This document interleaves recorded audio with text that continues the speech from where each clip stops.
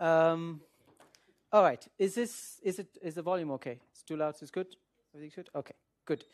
Um, yes. So uh, last week we we introduced the concept of well, we talked about passivity. What states are passive? We introduced the concept of majorization uh, right up to the Schur-Horn theorem, um, which was essentially the statement um, that well I'm going to put the statement that matters for us, which is that if rho is a density matrix,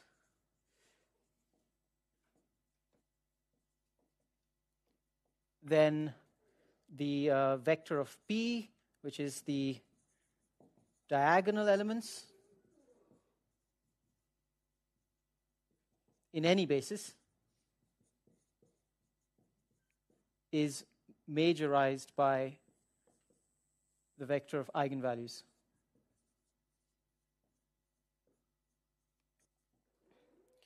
And, and as I said last time, this is particularly useful for us because when we do unitary operations, the eigenvalues are preserved.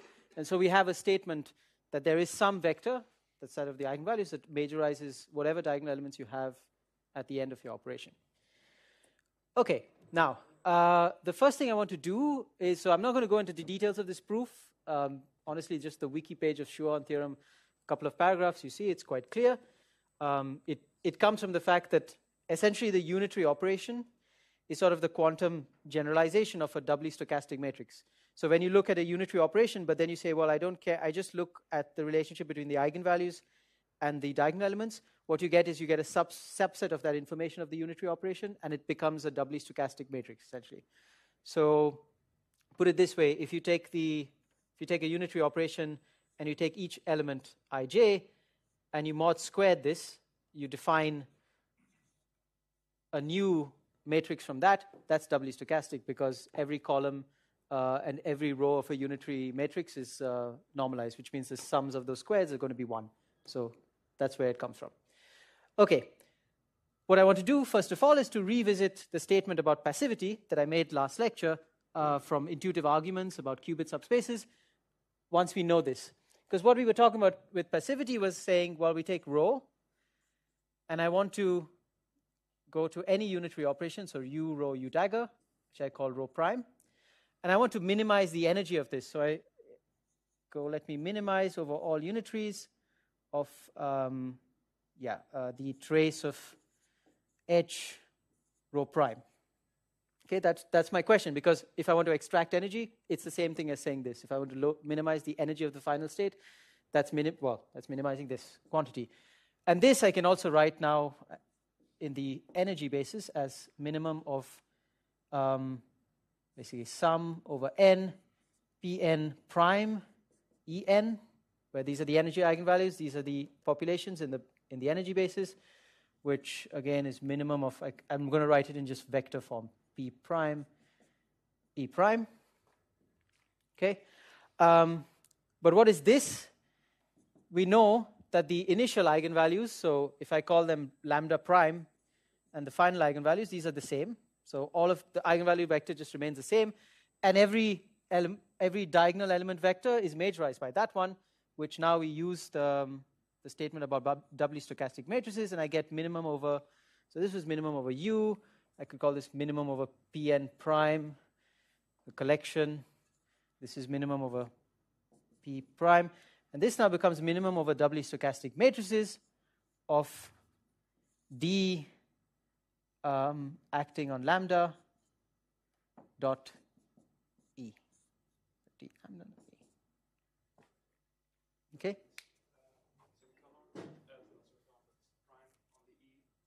Ah, sorry, there's no prime on the E. Yeah, E is just, sorry, I meant to write that. E is the energy eigenvalues. That's, that's the same always. Thank you. Um, yes, and now recall from the last week's um, discussion about linear optimization. So first of all, from Birkhoff von Neumann, we can, well, we can write this as sum over n, some Cn times the permutation n. So we just call these Pn acting on lambda and then dot E. But then we, as we discussed with linear optimization, when you want to, this is now a linear function, of course, because it's, it's a dot product. So when you want to optimize this over a convex combination of, of permutations, you simply pick the best one. So you go, this is going to be minimum over all n of Pn lambda dot E. So one of the extreme points, which are the permutations, is going to give you your extremum values. One will give you a min, one will give you a max. Of course, may not be only one when they are.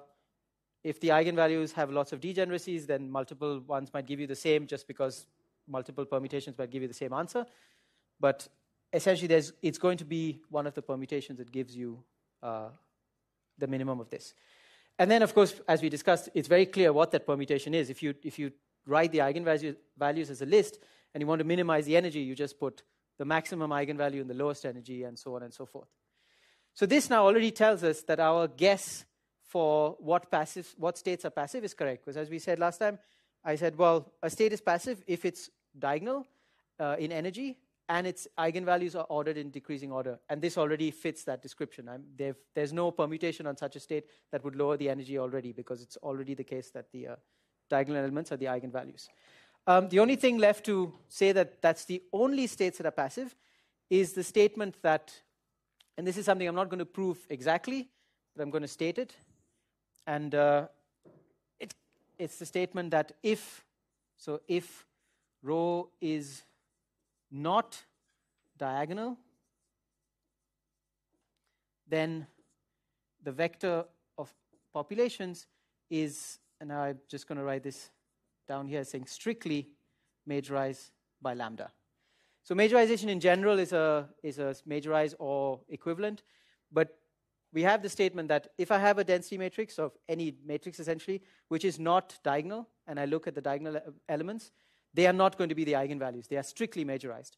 And the reason for this is the, the argument, if you wanted to prove this, is just from the qubit subspace argument. So imagine that you have such a density matrix, you just pick one of the off-diagonal elements and you do the rotation in that qubit subspace.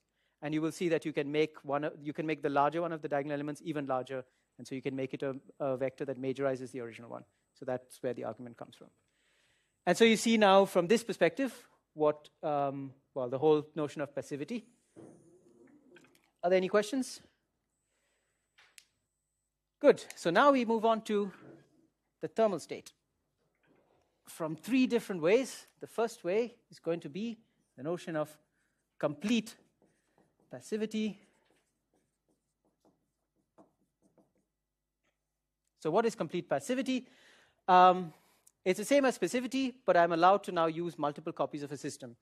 So, I go rho is completely passive if for all n we have that uh, the minimum over unitaries of u, and I'm going to write this un, rho n copies, un dagger. Well, actually, here the n is not required. It's just a unitary on everything. So, ta-da. Let's put h here. h n. That's where I require the n. U u dagger um, is well. This minus that is equal to zero, or I can just say this is equal to the the um, energy of the initial state. So Hn, rho tensored n. Um, and to clarify, H is just, it's a sum of many systems, so it's just, just a sum Hamiltonian. So it will be of the form, so the same H on the first particle, tensor identity on the rest, plus identity on the first particle, tensor H, tensor identity, plus, and so on and so forth. It's the sum Hamiltonian. Okay? So, a completely passive uh, state, it's, it's a stronger version of passivity because, of course, if this is true for all n, then in particular it's true for n is equal to 1, which is the original passivity statement. So if, if a state is completely passive, then it's clearly also passive, but the vice versa does not hold. And now what we're going to do is we're going to argue that, in fact, the only state that is completely passive, if rho is equal to e to the minus beta h upon the normalization for some beta. Okay? So this is now isolating the Gibbs states from among all of the others. All right. So.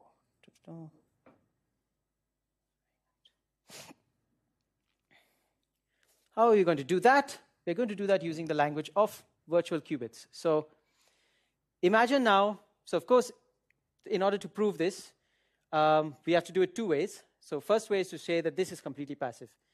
The fact that this is completely passive is, um, is very clear.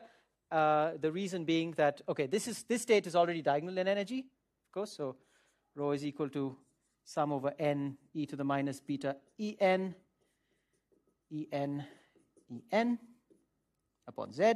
So it's diagonal energy, it's passive. And now what happens when you take compositions of this? So our main goal now is to say that, um, ah, actually, let me put it this way. The statement that rho is completely passive is somehow saying that for every n, the original passivity argument holds. Because this is, this is simply the original passivity argument, but now it's on n copies. So all we have to check to see that rho is completely passive is saying no matter how many copies of n, that state that we get is still passive. So now what happens when you have n copies of such a state? First of all, we can still argue that rho tensor n is diagonal in energy. This is clear if you have a um, diagonal with respect to, well, I just say diagonal is always with respect to energy if I don't say anything.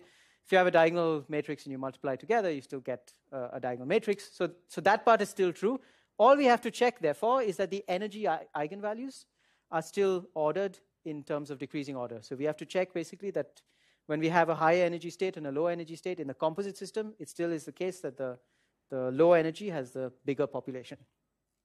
And this is true because of the special property of the Gibbs ratio. When it composes, it remains the Gibbs ratio.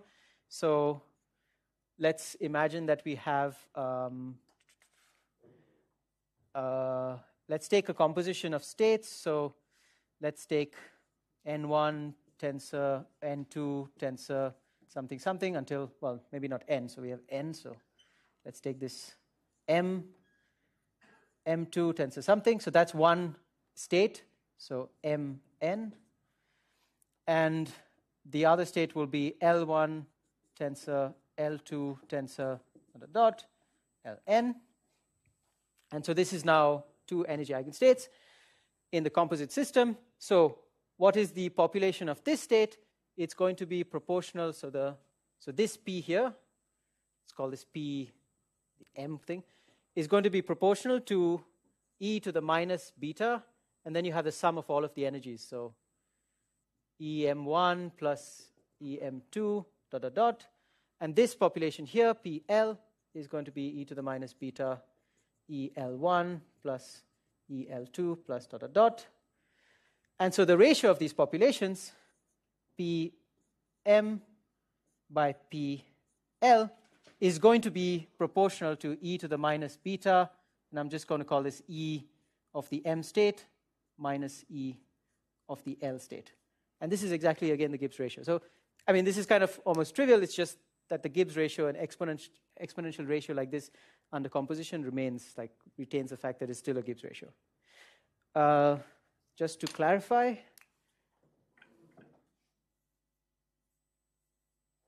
I forgot to say that. So the, the temperature has to be positive because, as we discussed, if the temperature is negative, you actually have an inversion. You have higher populations in the high energy state, so um, you would, of course, then be able to extract energy. Okay, so oh, I have to complain about this. It's still broken. Um, so now let's do it the other way. So the other way is slightly tricky. Now we have to show, imagine I have a state. It is passive, but it's not completely passive. Um, I have to somehow, well, sorry, that it's, that it's not essentially the thermal state. That's not the Gibbs state. I have to show that it is not completely passive. At some point, if I have enough copies, I'm going to be able to extract energy from that. And this is where the language of virtual qubits is useful for us. So imagine I have some Hamiltonian of this form. Uh, and what I do is I say this is not completely passive. Okay? So the fact that it's not completely passive, so rho not Cp means it's not equal to e to the minus beta h by z. which in turn means that there exists, there exists, there exists um, two transitions, so two transitions, and by transitions I mean pair of energy levels. So these are two transitions, there are two pairs of energy levels with different beta virtual. So when I take this state rho, I can look at each transition and I can look at the virtual temperature of that transition to see, well, with respect to that population, what does the temperature look like? The fact that it's not a thermal state means there must be at least two transitions that have different beta V. Because if that was not the case and every transition had the same virtual temperature, then that would mean it is a thermal state. Because that's the only state that has all of the ratios being the, the Gibbs ratio with the same temperature. So what I do is I simply pick that. So I, I pick, let's say this is transition one, and this is transition two. This is my transition one and transition two. And now I'm going to, let's use the same notation my notes so that I can just follow them. So I, J, K, and L. So let's call this I, J, K, and L. Okay? And now we are going to take rho tensored with itself m plus n. So we're going to take m plus n copies of this. And in that, we're going to look at two energy levels. So we're going to look at the following energy levels. So the first one is j tensored m tensored l tensored n. So m times j in that one. And the other one is going to be, uh, oh, sorry, this is IL. It should be, yeah, sorry, I. I apologize. This one is J, tensored M, tensored K, tensored N. Okay? And now what I want to do is I, I want to understand everything about the relationship between these two. So first of all, so let me draw a line here. So First of all, the energy of this, so let me call this E2, is going to become, be m times the energy of this, n times the energy of this. So this is m EI plus n EL.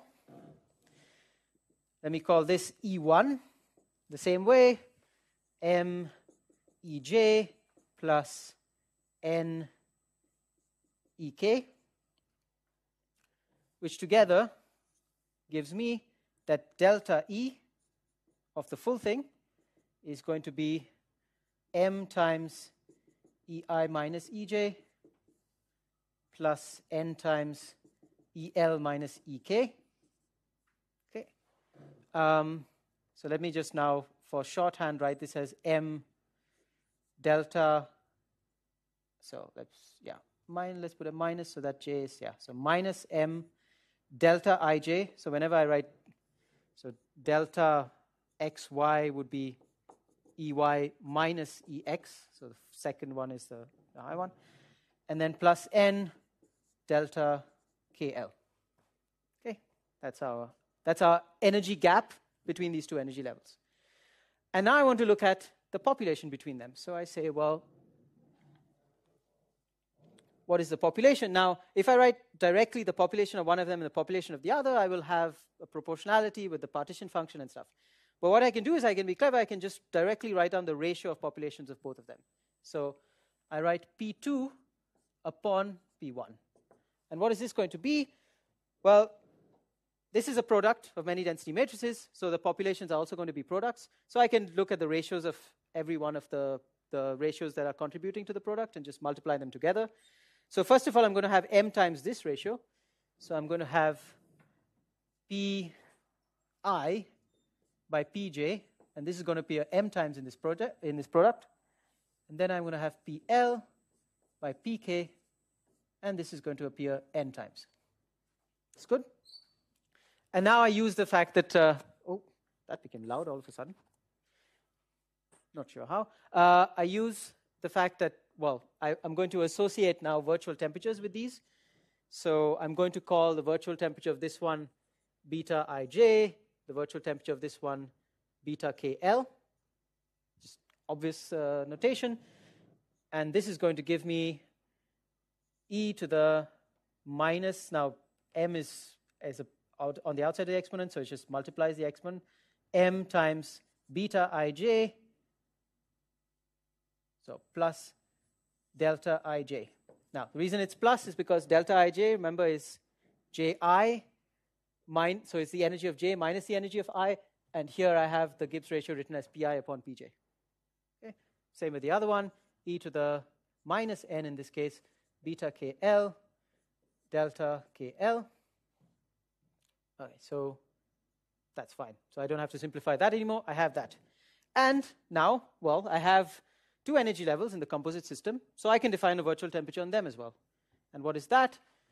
So this, so P2 by P1, I can also just define a virtual temperature. I call this E to the minus beta 1, 2, just obvious notation, times the energy gap. And the energy gap is this one here. So N delta KL, let me write it with M, minus M delta IJ plus N delta KL. And this now, if I equate, gives me what I'm looking for. So I equate these and get rid of the exponent, and I have that beta ij, oh, sorry, beta 1, 2. So I'm solving for this, is equal to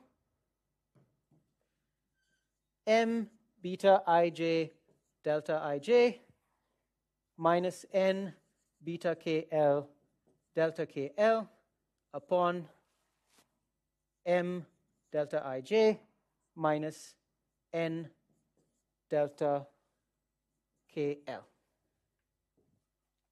Okay? Looks very similar to the previous expressions for virtual temperature that we have. And this now I can simplify beta ij delta ij minus n over m beta kl delta kl and the same thing in the denominator delta ij minus delta kl. And why have I done this? I've done this for a very simple reason.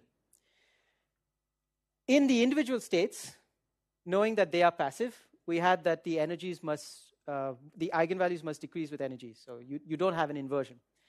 And the point is, if we are going to prove that this is not completely passive, it must mean that at some point we get an inversion. Because it's always going to remain diagonal, so the only way it cannot be passive with some composition is if suddenly at some point we find, oh, there's a higher amount of population at a, at a higher energy. And that is the same as proving that a virtual temperature has become negative. Because the moment we have an inversion of populations, then picking those two energy levels, we see the virtual temperature is negative. So our goal here is to say that we can always pick beta 1, 2 to be negative. And looking at this expression, it's quite simple. So this expression here is going to be 0 for some value of n over m. So there is some, so there is some, uh, oh, writing the same thing. There exists some, let's say, r1 such that beta ij, ij delta ij minus r beta kl delta kl is equal to 0. And the same way there exists r2 such that the bottom is 0. They are not the same. They can only be the same r if beta ij was equal to beta kl, in which case we've picked two transitions that have the same virtual temperature. So, of course, we're not going to get anything interesting. But we know, we are guaranteed that we can pick two different virtual temperatures. So, these are not going to be the same. And the point is, sorry? Oh, sorry. R, R. Yeah, yeah, yeah. Oh, yes. That's why I made this mistake, because I said lost the n over. Yeah, sorry. I just divided denominator and numerator by the same thing. Yeah. So if I, if I plot these two expressions with respect to r, they're just linear expressions. So with r, they're just straight lines. And there is one point at which one changes sign and the other point at which another changes sign, which means that there's going to be some interval in between where this expression is going to be negative. I'm guaranteed that because R1 and R2 at the point which they change sign are different. So there exists, so that means, and this is R2, let's say R2 not equal to R1. So this means there exists some interval where it's negative. So where so r is sort of within some interval. Let's I don't know which one will be larger or smaller. Let's just call it a b some interval there. Or it's going to be an open interval. Let's say. And that completes the proof because one of the fundamental things in number theory is if you have two integers n and m, you can make the ratio between these two integers as close to any real number as you like. So as long as you know this interval, you just pick some number in this interval, you pick n and m close enough to that number, it will be in this interval, and you will get a negative thing. Of course, if the number, if the interval gets smaller and smaller, these integers that you'll have to pick will become larger and larger, which is the same as saying, oh, I'll need more and more states to actually get this thing. Uh, and that will happen if the betas are close. So the closer betas get to each other, the closer R1 and R2 will be, and therefore the, the more states you will need in your composition before you find an inversion. And so this completes the proof that if rho is not a thermal state, so now we have the statement, if rho is not equal to e to the minus beta h by z, then rho is not completely passive. Okay? Are there any questions? None? Okay. Now, um, so up to now in the course, well, with the exception of this calculation, we've taken the thermal state as something predefined. So we defined, oh, the Gibbs state, it's the thermal state. And we define temperature from that and stuff. So the purpose of this lecture actually is now to place this on a very firm footing. It's like, why is the thermal state special? And in the course of this lecture, starting with what we've just done, we're going to look at it from three perspectives. So the first is sort of a resource perspective,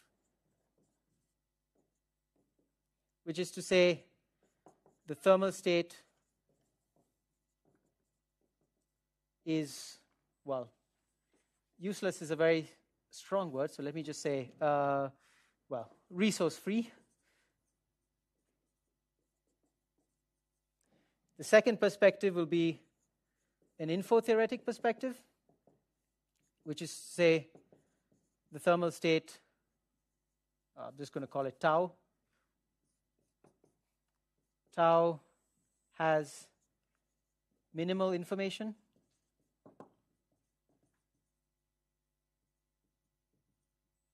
And the last one is from typicality, and well, there are two ones actually, but I club them together typicality and equilibration, which is the dual statements that tau is the expected state and tau is the state evolved to, loosely speaking. So these are four ways of doing this. Now, the first way that we just did is to say the thermal state is resource free. And why do I say that? Well, remember the whole point about passivity is can you extract energy from this state? So now when we have the thermal state, we say, well, it's completely passive, which means that no matter how many copies of the state we have, we are not going to be able to extract energy. And this is actually very much the, this, this version of the, the second law. Because remember what the second law says one of the versions of the second law is you cannot convert heat into work. So if we go, well, let me define, so define the energy in tau or energy exchanged with thermal states. So energy exchanged with the Gibbs states, we call this Gibbs states. So to be heat and then at the same time, so this is one, and two is I say energy change via unitary operation. U to be work.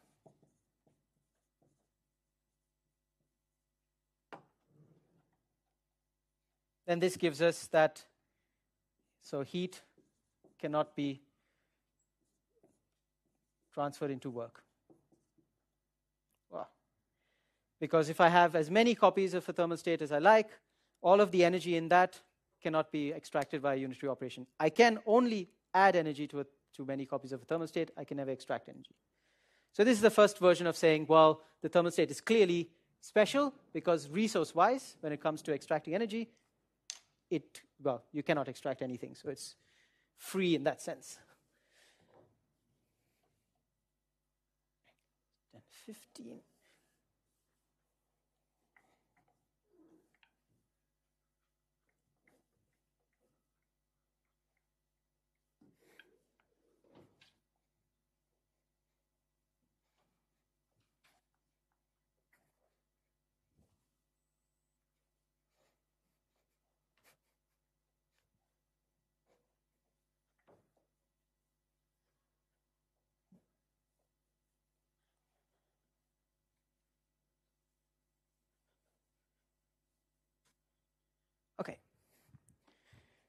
What's the second way? Information theoretic. And so now we're going to talk about Jaynes' principle. Okay. Um, thanks to E.T. Jaynes, somewhere in the 50s.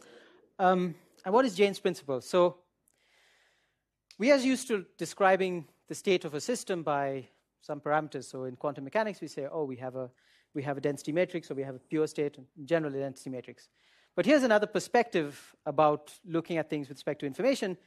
Imagine that there is a quantum system, and I didn't tell you its state, like I didn't tell you the usual thing you're used to, like density matrix, but I tell you some property about it. So the traditional one in thermodynamics is, well, I know the average energy of the system, but that's all I know. So I, I have a system, it has a Hamiltonian, and this is its average energy. And then you're asked, well, what can you expect from the state? So you, you, you now want to do something with the system, but in order to do something or to make calculations or any predictions, you have to allot some state to it. You have to say, well, okay, I'm going to assume the density matrix is something. And Jaynes' principle is a very simple one. It basically says, well, if you have partial information about the system, then the state that you assign to it has to be the one that has minimum extra information. So it, you do not want to add anything. So you have to sort of minimize the information you have the only thing, keep, keeping the only thing being the one thing that you've been told or the, the information you've been given. And what does this um, correspond to technically? Well, one of the ways of classifying the uncertainty in a state is via its entropy. The more the entropy in the state, the more, inf- well, the more the information you require to complete sort of the description of the state. So a pure state has zero entropy because you cannot, well, you know the maximum amount of information you, you can have about it. The maximally mixed state has the maximum entropy because you have complete uncertainty about it. So Jaynes' principle on a technical level is, so if you know something about the system, what you do is, so you maximize the entropy S over all rho such that, so this, whatever statement on rho is true. So I, I don't know how to write a logical statement, so let's just write wow, some statement. F on rho is true. So you have some constraint in a system which is written by some statement f, and you keep that thing true, but you vary over all of the density matrices you have that are consistent with that statement, and among those you pick the one with the maximum entropy. Because what you've done with that is you've said, well, I've minimized the information I have about the state other than knowing something like that. Okay? So that's Jaynes' principle. And so the trivial version of Jaynes' principle is imagine that I know nothing about the state. Nobody gives me any information. What do I say the state is? Well, that is very clear. It's just the maximally mixed state. So I maximize the entropy, and that's maximally mixed. Sorry? Oh, uh, sorry. Yeah, I have to, to, to, to, to maximize. Sorry. Yes, maximize S rho over rho such that. Thank you. maximize the entropy of that, and then the, the argument of the answer is essentially the density matrix you're looking for. Okay, so if no information, then rho is the maximally mixed state. So in dimension d, this is identity over d. What happens if you have partial information? So the most interesting thing for us, which again will lead us to the thermal state, is imagine that we know the average energy.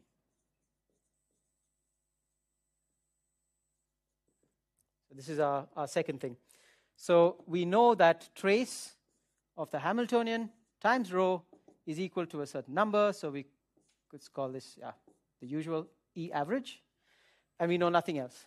So now we have to maximize the entropy, given that we know that the trace of the Hamiltonian is E average. Okay? What state are we going to get? So, so I'll write again the same thing here. So maximize S of rho over rho such that trace of h rho is equal to E average. Okay? And I am going to prove that this is now again the Gibbs state. The first thing that we can prove is that this must be diagonal. So rho must be diagonal in energy. So it's actually even stronger. It must be diagonal in, in any basis of any energy basis. Which means even if you have, so if you have degeneracies in energy, of course, there exists multiple bases for energy, but no matter what you pick, rho has to be diagonal in that. Well, I'm just about to argue about this. So, yeah.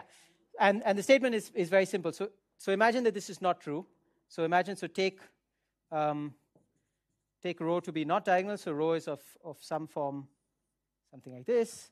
And you have your populations Pn. And let's say you have something here. Let's call this CNM. So you have PM here and CNM star that are not zero. Okay? So here's density, and this is all in the energy basis. So imagine that I do the following.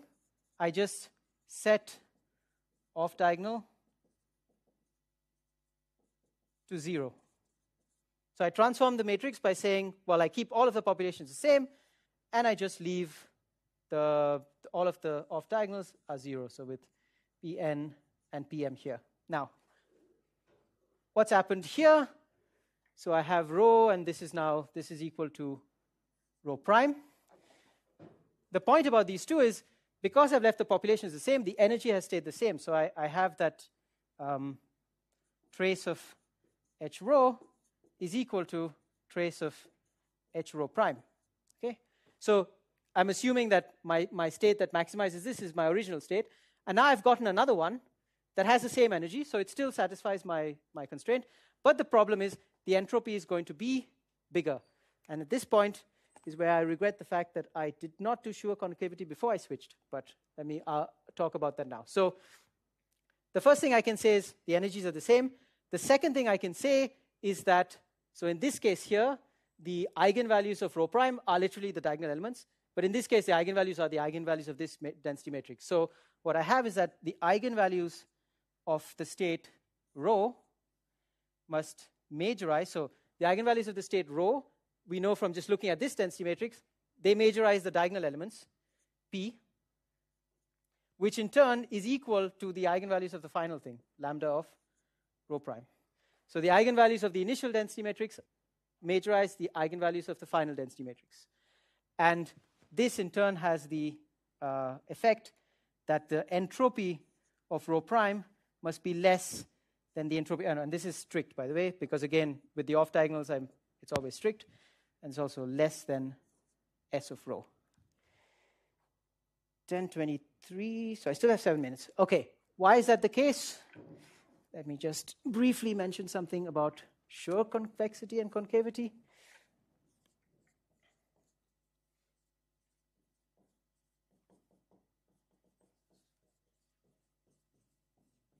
And this is something about majorized vectors. So a function f of um, v, where v is a vector, is, let's call it so Schur, convex if um, a majorizing b, sorry, a majorizing b implies that f of a is greater than f of b. So con- Schur convexity and concavity is just sort of a, a nice way of saying a function is the function obeys a majorization order. So if you have a majorization order, you'll have yes.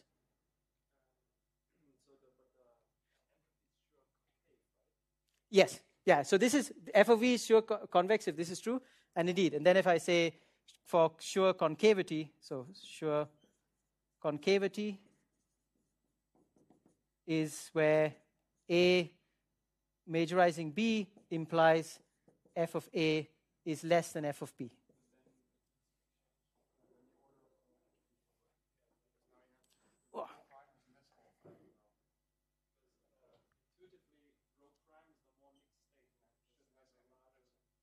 No, so rho prime is not the more mixed state. Uh, sorry, rho is sorry, yeah.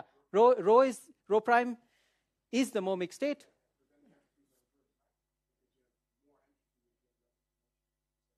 Oh, sorry. What did I, yeah, yeah, yeah. No, no. I did. This was supposed to be this. I, I was thinking that because this has more entropy. That's the whole point.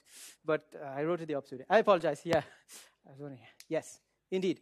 Um, yeah. The the vector of here, the vector of eigenvalues majorizes the vector of eigenvalues here. So therefore, the entropy here is less than the entropy there. Indeed. And that's important to us. And the reason is because now what we've done is we've proven a contradiction. We started with a state that satisfies our maximization we took the state, we made a transformation that kept the energy the same. So that's also a state that satisfies the constraint, but it has a higher entropy, which means that it, it clearly beats the original state of the maximization contradiction. And the only way to take care of the contradiction is to say, well, you cannot have off diagonal elements to start with. Okay? So, yeah, Schur convexity and concavity is, is very nice. Um, before I come back to this, let me say about Schur convexity and concavity. So, there are a number of things um, that a number of useful things that are, are included here. So, for instance, the entropy is Schur concave.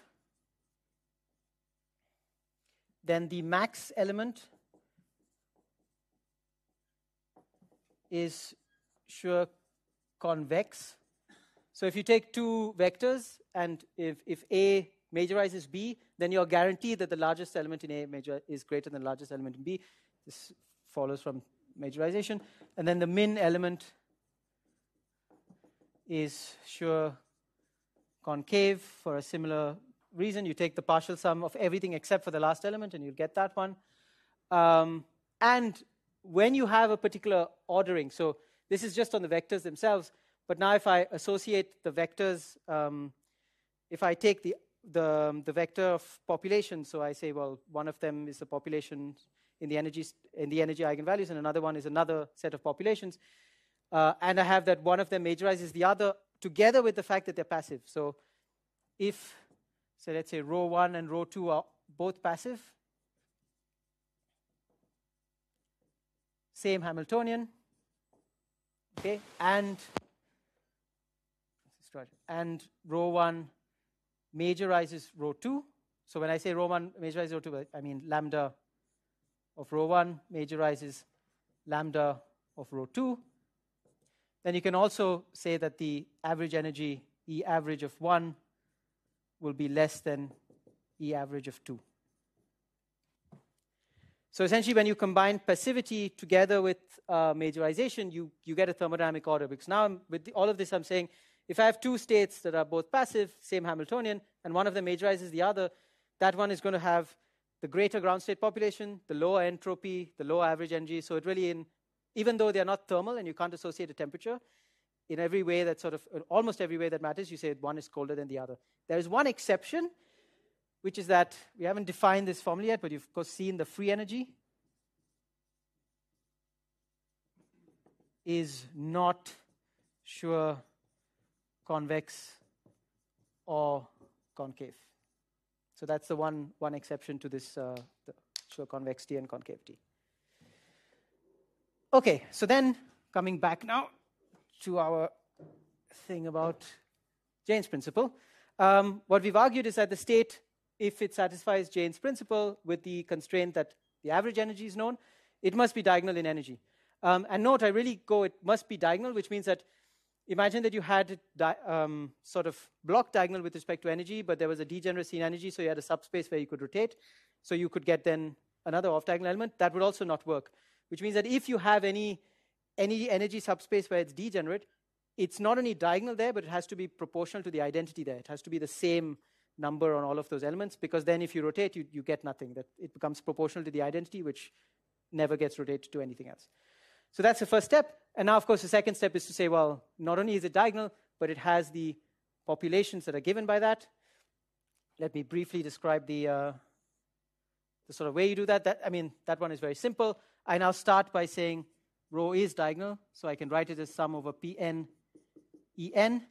And now I want to maximize the entropy. Because it's diagonal, I'm maximizing really the Shannon entropy in that basis. So sum over minus Pn log Pn over n. This is what I want to maximize. And so that you do it the typical way. You Lagrangian optimization is the usual way to do it. So you just say, I define a Lagrangian L, um, which is equal to, sorry, the, the action, sorry, this is the action, which is equal to what I want to maximize, so minus n pn log pn. And then I have some constraints. I have two constraints when I'm doing this on a density matrix. The first thing is that it has to be normalized.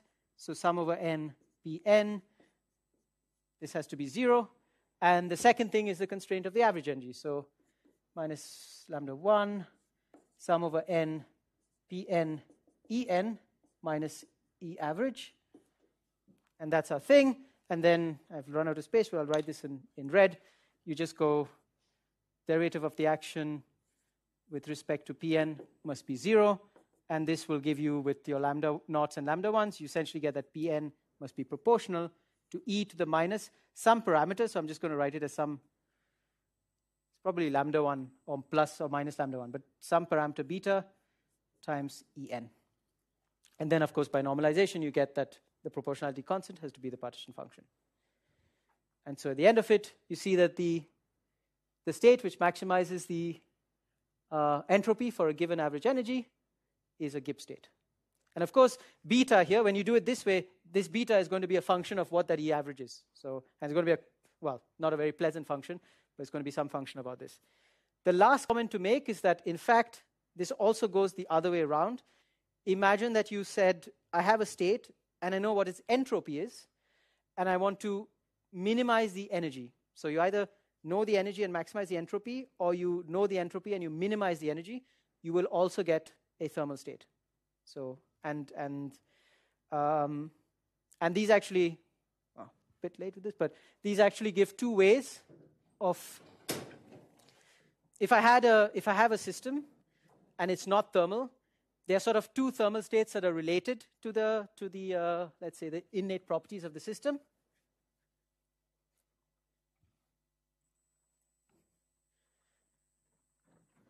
And it is something I would revisit when I talk about thermalization equilibration, and so on. Um, because I can have rho, and I know two things about rho. I know E average, which is equal to trace of H rho, and I also know S, which is minus trace of rho log rho. And so I can define two thermal states. So I can define, let's call it tau min with respect to rho. And this is basically, um, this is the state that, so minimum uh, of E, so minimum of trace H rho, no, no, why do I do this? Tr- minimum of this thing, sorry, trace of H rho over all rho such that S of um, S, no, let's, let's put a different one. Eta, eta so that eta is equal to S of rho. And then I can define a tau max of rho, which is the one we just did, max over eta of S of eta, such that trace of H eta is equal to trace of H rho. This one is a higher temperature than this one, and they basically give you, in some sense, intuitive bounds on what the temperature properties of the state you can expect to be because they're between these two. Um, for some for some arguments. I will return to this in thermalization and equilibration. Okay, so at this point, I will take a break and we will continue at 40 past, so in five and a half minutes. So, good?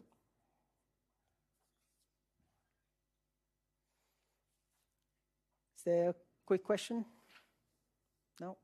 All right. Yes. Um, then we sought out two virtual qubits. yes. Yeah. And we labeled them.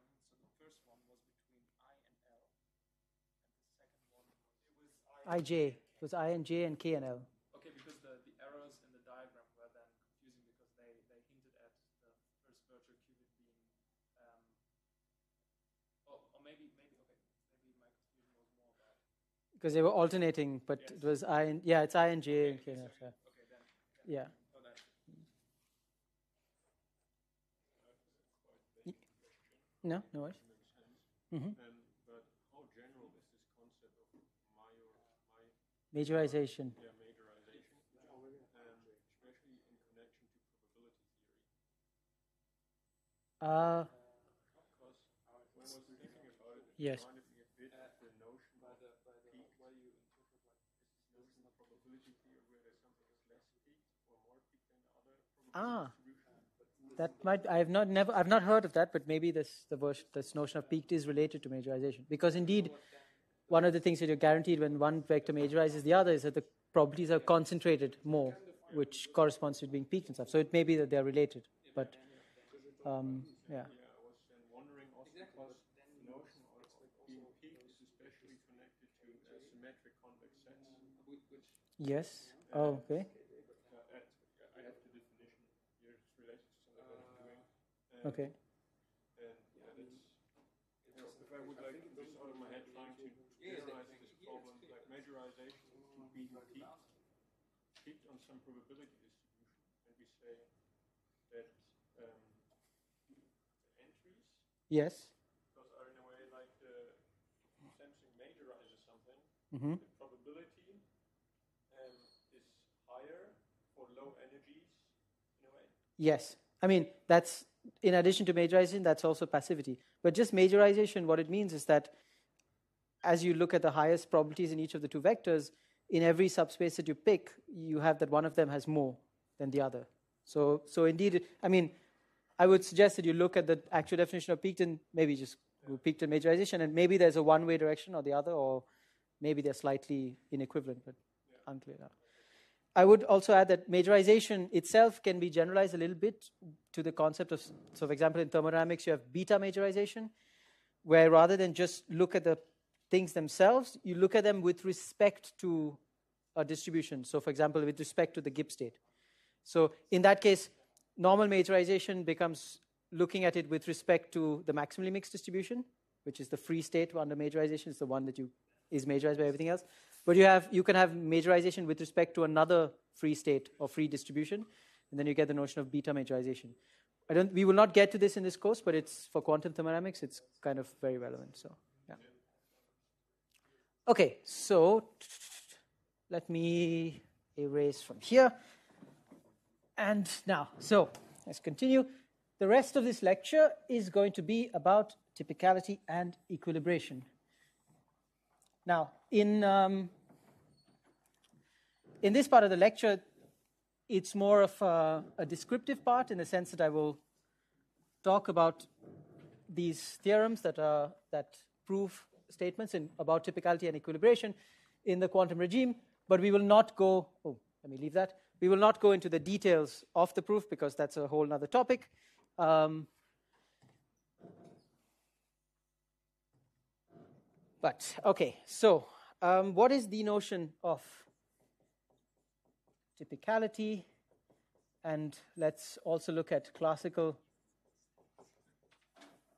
versus quantum. Ah, okay, there is a term that is not coming to mind, but probably one of you will realize it when I start speaking about this. So, the notion of typicality is essentially if I if I have a system, and especially a system that is part of a, another larger global system, then what can I expect the state or the description of the smaller thing to be?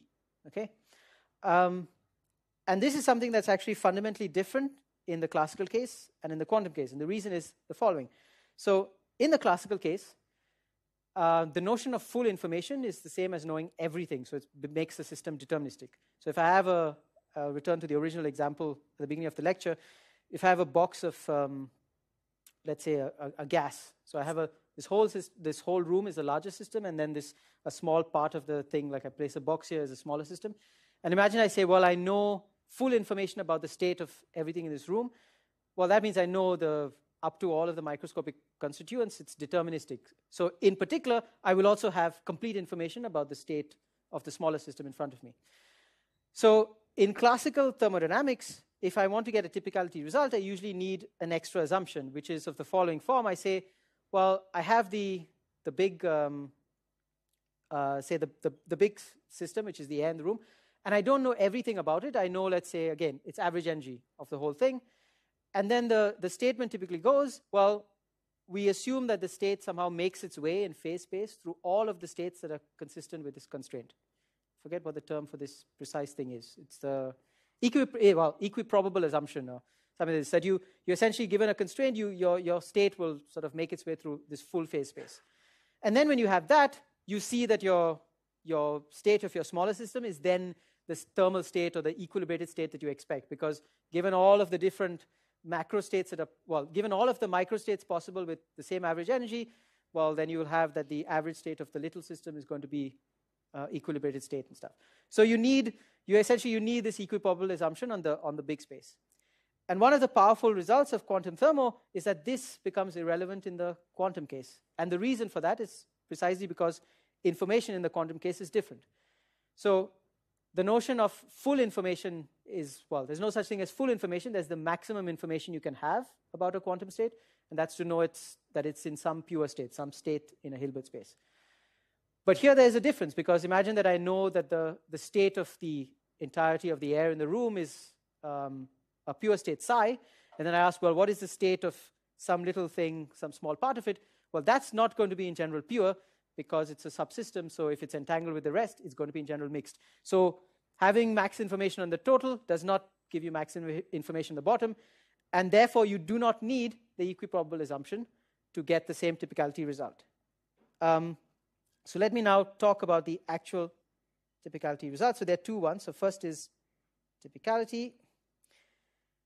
Uh, so our setting is the following.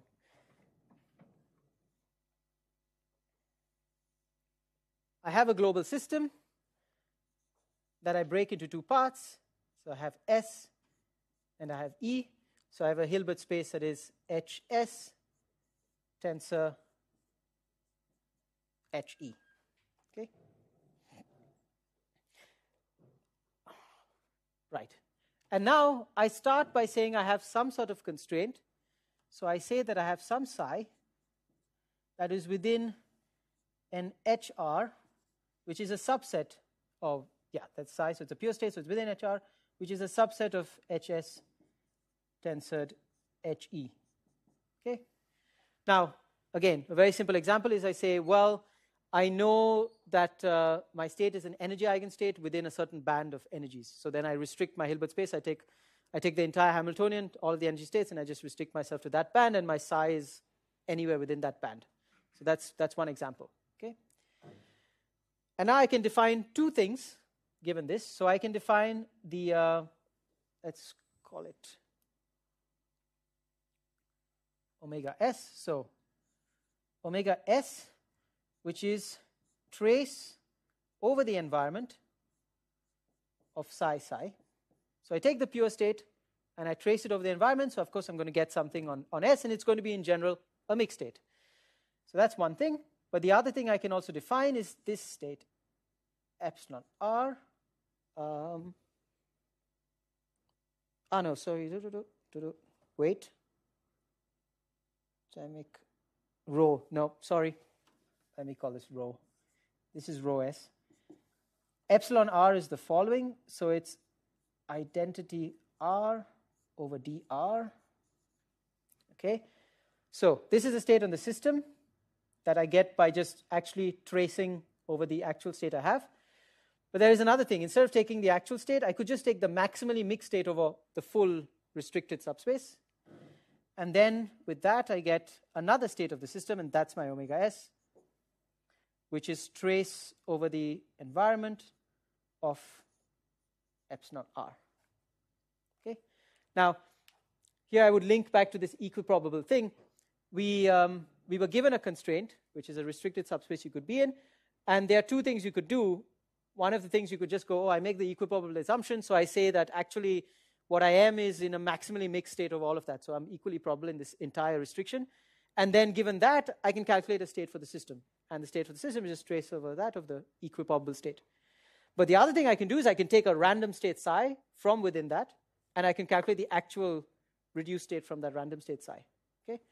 And now the point is, if I did this in classical mechanics, this would be extremely different because from the equiprobable state, we would get something that was our thermal or equilibrated state. But if I picked a pure state of the entire thing, I would get a very pure state of the, of the smaller system as well. So classically, we get something very different. The point is that quantum mechanically, we actually get something that is not very different.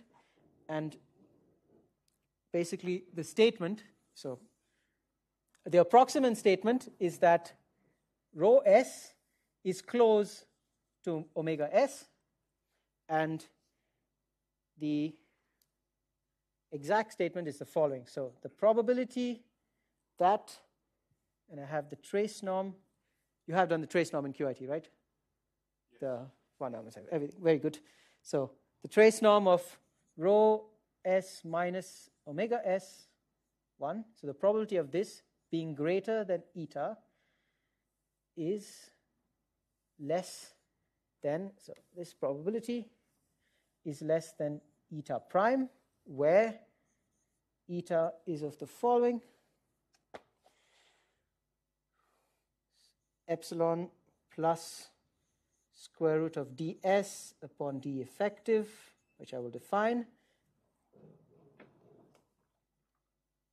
and eta prime is 2 times e to the minus, there's just a constant here, 18 pi cube, and then there's dr, and then there's epsilon squared, and d effective, which I will talk about imminently, is 1 upon trace of omega e squared. So omega e is analogous, so omega e is trace over the system of that equiprobable state that we defined, epsilon r. Okay. Now, so epsilon r is, is the equiprobable state. Oh, oh, the small epsilon. Oh, yeah, this is capital and, ooh, yeah. In, in, a, in, in the paper, it's fine because, of course, you can clearly make out the difference. So maybe I use something different. Let's call this theta and this. I'm sorry. It's just, well, I'm trying to use the same language as that of the paper because I would recommend, and I, I will, I think in the lecture notes or in a note I will write on Moodle, I will give you the links to these papers. Um, and it's, I recommend them highly as uh, to be read because uh, they really explain from fundamental principles and intuition um, why the result is motivated. Um, yes, but of course, this notation is confusing.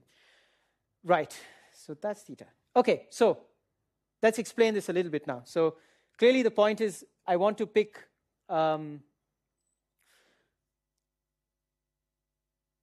one of the things you can immediately see is that the, behavior with theta.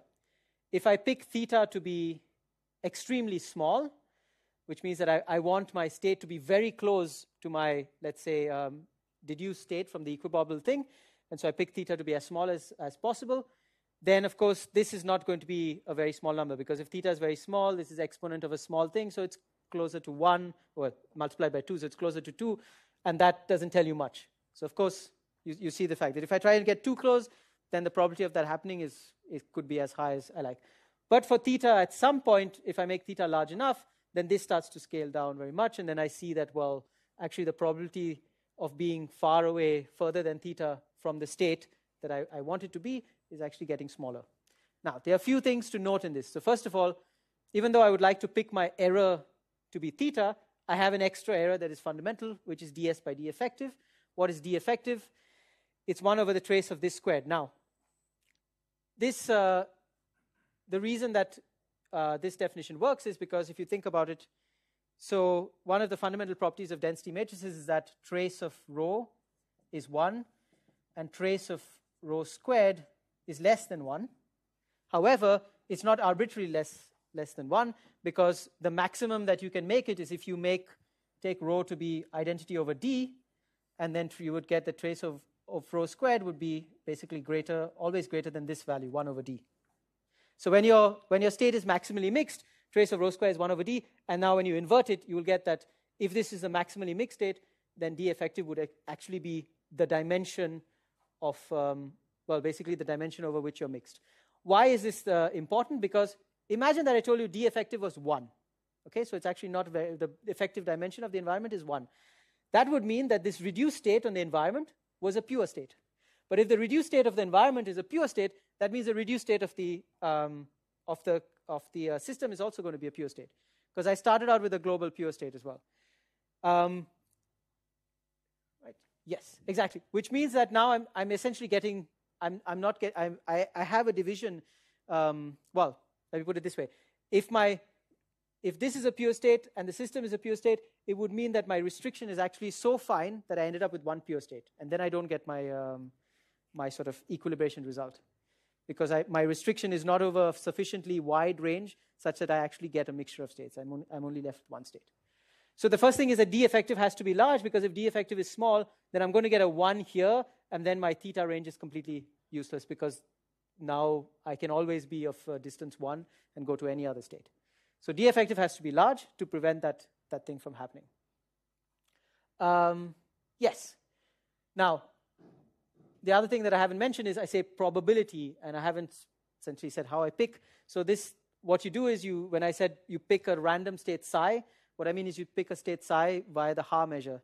So the Haar measure is essentially a way of giving volume to the state space for quantum mechanical systems. So that tells you so if I say a uniform distribution of the Haar measure, for instance, is a uniform distribution over states, and picking a random state from HR is, is random with respect to the Haar measure, essentially.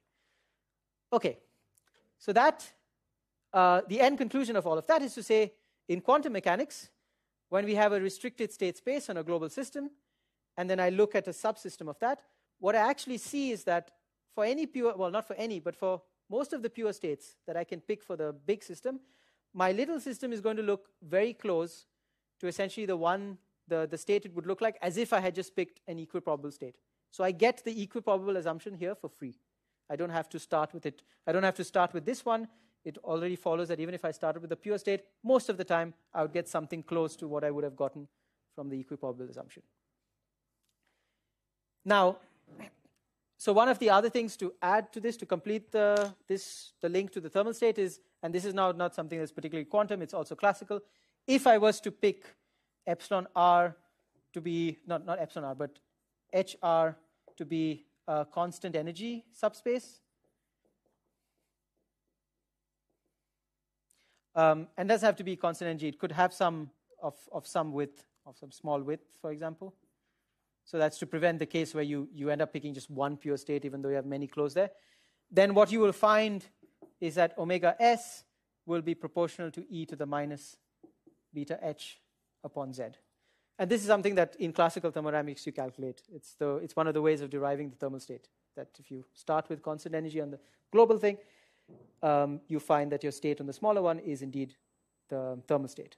But the important thing here with the quantum result is you didn't have to start with the equiprobable thing. With a random state in that subspace, you're actually close to the Gibbs state. Okay? Now, sorry. So that's typicality. And now let's do the last one, which is equilibration.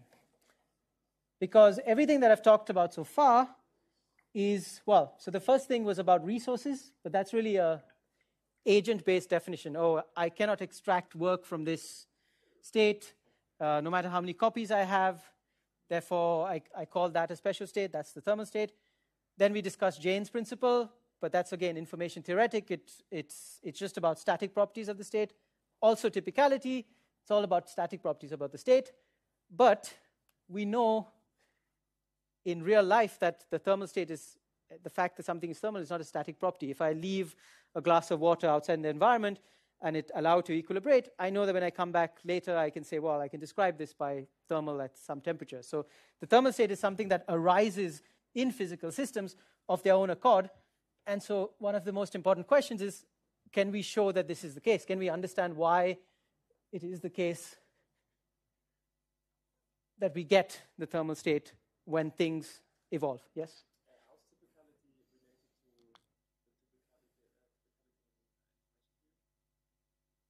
What is the typicality in information theory? Can you remind me? okay, I, am I'm, I'm not sure. I, do, I don't know what the. like, yeah? a, you have a sequence and you want to find out how related the sequence is hmm. to a set that you call the typical set.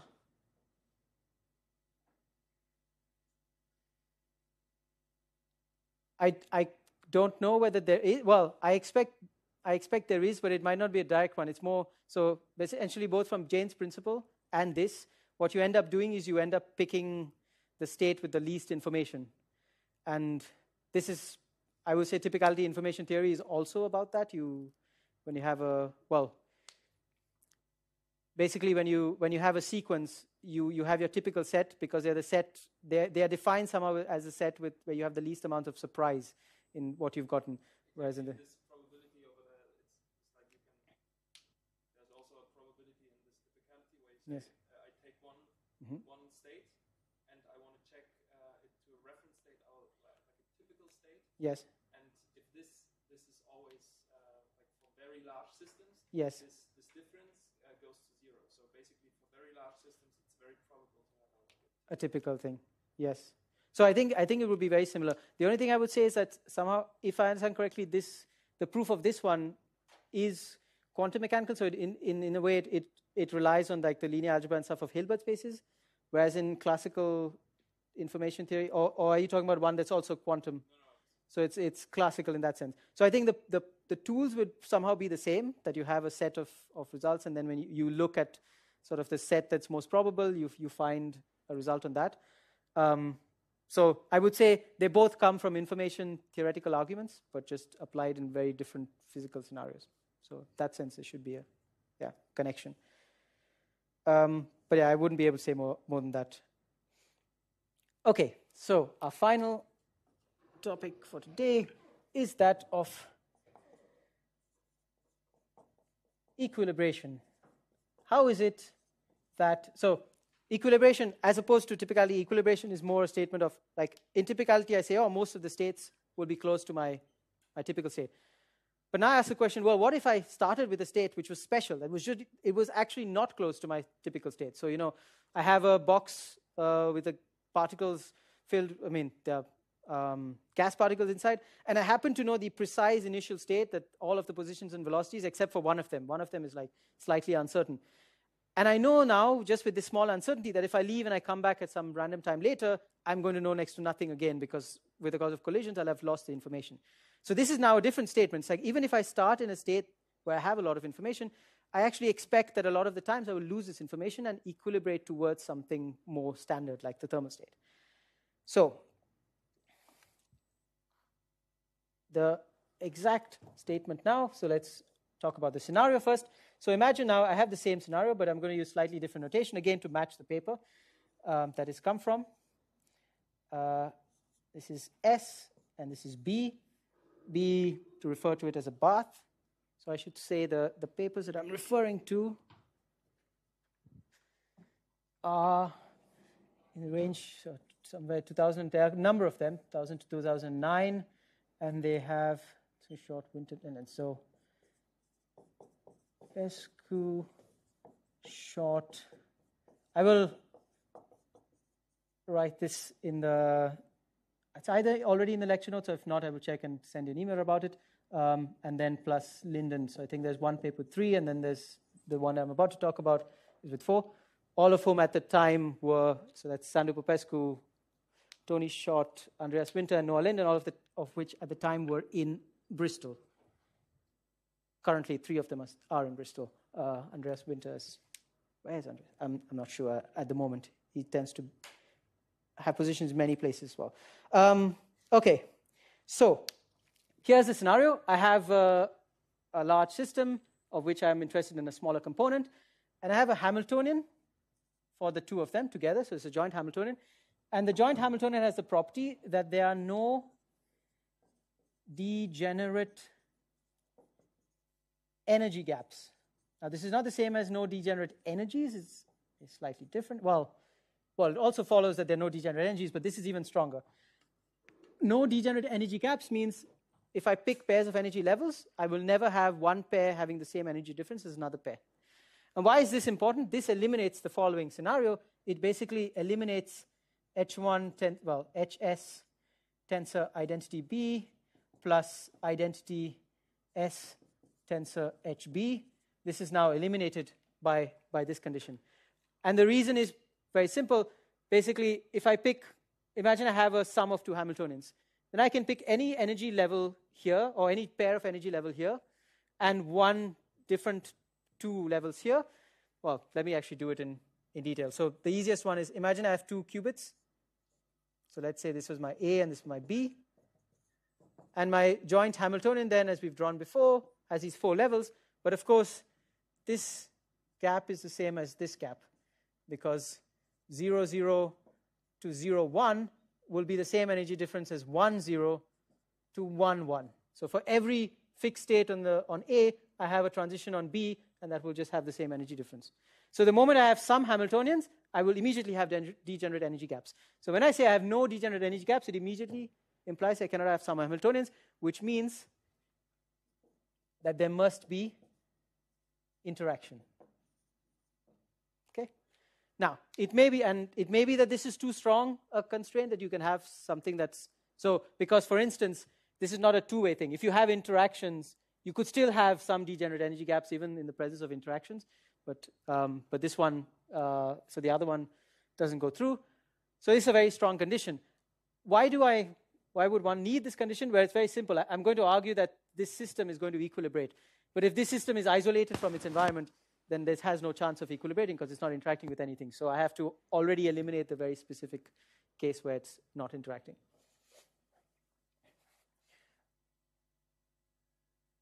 Okay.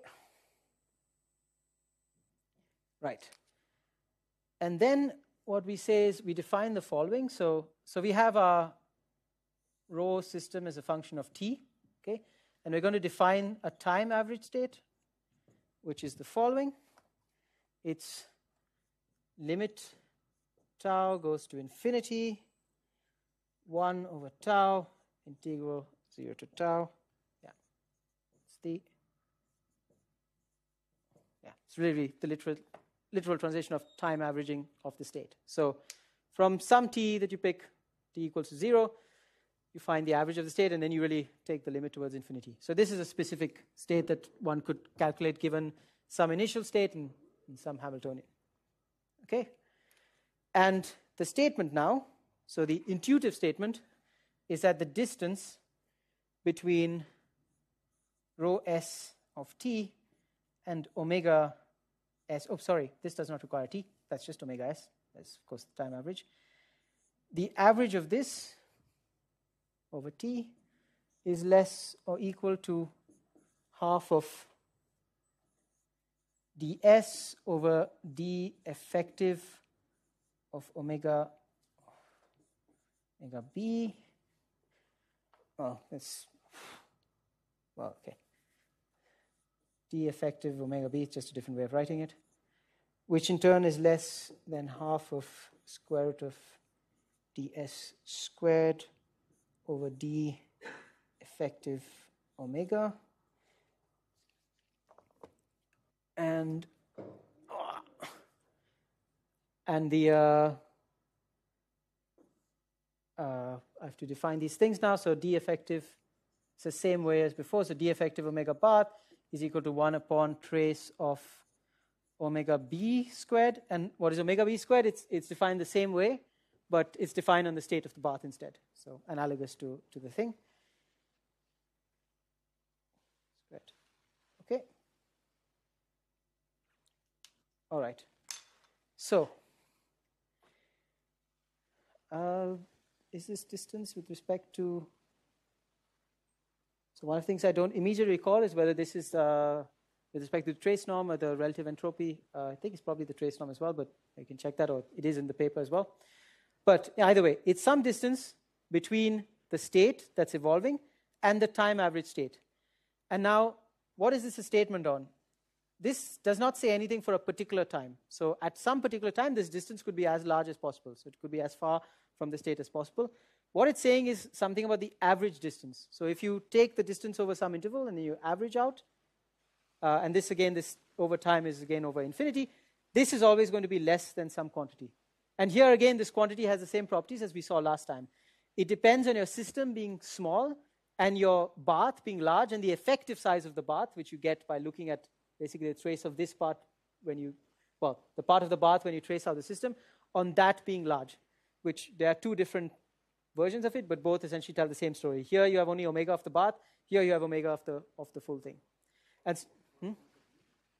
omega b is, is defined the same way, but it's on omega. So, okay, let me write this So it's just 1 from 0 to tau, 1 over tau, limit tau goes to infinity of rho b t dt.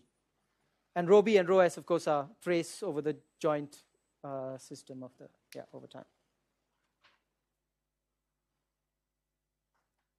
Okay?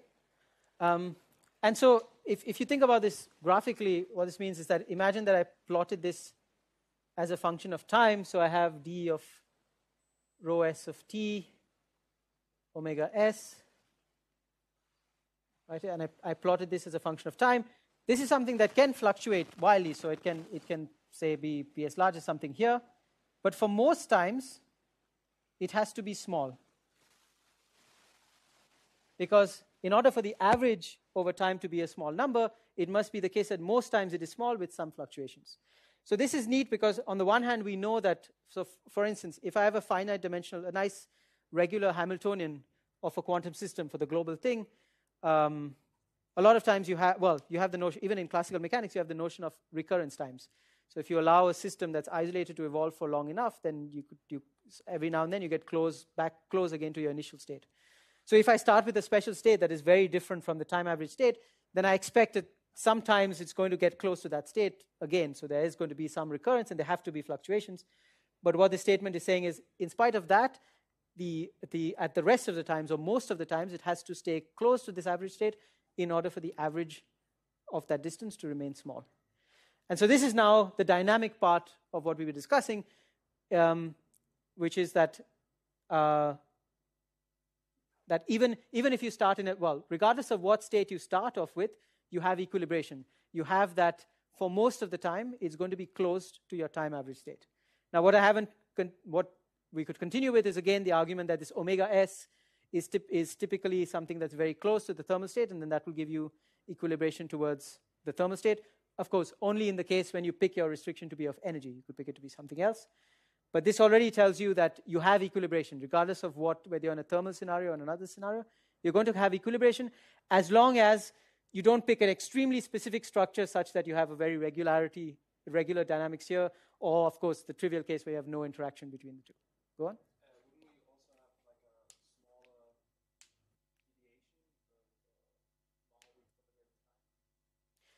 No, because of recurrence. So the point is, so uh, let's put it this way: if if your if your system is finite dimensional, with a Hamilton is finite dimensional, then because it's finite dimensional, you you have you always have recurrence times. So you always so I mean, the extreme example of this was imagine that I took my Hamiltonian to be a, a ladder. So so for example, my Hamiltonian is a regular space thing, and of course the harmonic oscillator is an example of this. Then it's actually periodic. So in fact, in that case, you know that your your graph will repeat in some time. Even if it's not regular and you have irregular gaps, you're still going to have recurrence in the sense that you will, you will, for any epsilon that you pick, there will be times at which you return within epsilon of your initial state. So you have recurrence. This, of course, is no longer true when you have infinite dimensions because then you, your, your space that you can traverse becomes infinite, so you can continue forever. But for any finite thing, you, yeah, you go there. So it's important that it is not necessary that the deviation continues to become small as you go in time. Classically, yes, because classically you typically deal with infinite dimensional systems. So then, yeah, you, you, you continually go closer and closer and never recur. Indeed, yeah. So I think the, the particle, the gas of particles in the example, even though if I start in a very specific state, I expect that there's a recurrence time, formally, like when I actually calculate it, it will be practically infinite because it's too large, and also it will interact with the environment, so you would never get a chance to recur. Yeah. Any other questions? Mm-hmm.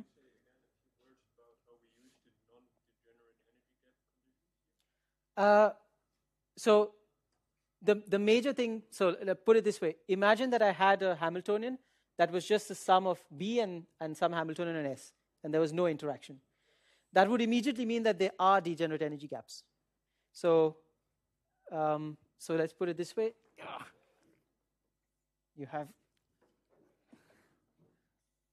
So if h of SB is equal to hs plus hb, and now I'm, I'm just omitting, so there's tensor identity, of course, always. Then you have instantly degenerate energy gaps. And so, of course, so you know with logical statements, if this implies that, then not that implies not this, which means that no degenerate energy gaps implies HSB is not equal to the sum of the individual Hamiltonians. So you've eliminated, basically with this, you immediately eliminate the case where there's no interaction. And, you, and that's important because if there is no interaction, then you, you cannot have equilibration. Because then, of, how is it going to equilibrate when its, its dynamics are independent of the environment? So that's essentially one of the reasons. Now, um, is there any other question? Yeah? Mm-hmm. Yes.